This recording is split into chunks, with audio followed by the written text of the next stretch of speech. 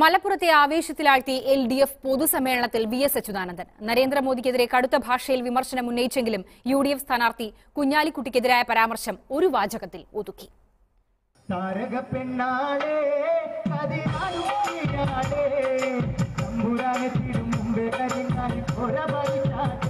F സ്ഥാനാർത്ഥി V P സാനുവിന് vote ചോദിച്ച് ജെ എൻ യുവിലെ വിദ്യാർത്ഥികളുടെ തീപ്പാട്ടോടെയാണ് പൊതുസമ്മേളനം തുടങ്ങിയത്.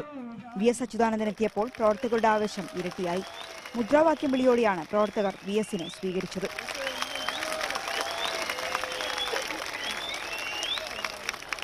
രാജ്യരക്ഷയിൽ താൽപര്യം കാണിക്കുന്ന നരേന്ദ്രമോദി അധികാരത്തിൽ വന്നപ്പോഴാണ് കൂടുതൽ സൈനികർ മരിച്ചതെന്ന കാര്യം അവർ സൗകര്യപൂർവം മറക്കുകയാണെന്ന് വി എസ് പറഞ്ഞു. കേന്ദ്ര സർക്കാരിനെതിരെ വിമർശനം ഉന്നയിച്ച് വി പി സാനുവിന് വോട്ട് ചോദിച്ച വി എസ് എതിർ സ്ഥാനാർത്ഥി കുഞ്ഞാലിക്കുട്ടിയെക്കുറിച്ച് പറഞ്ഞതിങ്ങനെ. എതിർ സ്ഥാനാർത്ഥിയെ കുറിച്ച് ഞാനൊന്നും പറയുന്നില്ല. പറയാതെ തന്നെ നിങ്ങൾക്കറിയാമല്ലോ സ്ത്രീകളുടെ സുരക്ഷയും തുല്യതയും ആരുടെ കൈകളിലാണ് ഭദ്രമാകുക എന്ന് നിങ്ങൾക്ക് നിങ്ങൾ തിരുമ തീരുമാനിച്ചാൽ മതി.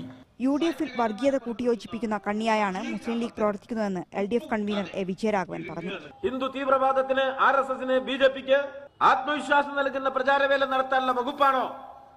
രാഹുൽ ഗാന്ധിയും അദ്ദേഹത്തിന്റെ സ്ഥാനാർത്ഥി പ്രദർശനവും വഴി ലീഗിന്റെ പങ്കാളിത്തം വഴി ഇപ്പൊ കിട്ടിയത്? വരും ദിവസങ്ങളിൽ സീതാറാം യെച്ചൂരി ഉൾപ്പെടെയുള്ള കേന്ദ്ര നേതാക്കളും ജില്ലയിലെത്തുന്നുണ്ട്. മനോരമ ന്യൂസ് മലപ്പുറം.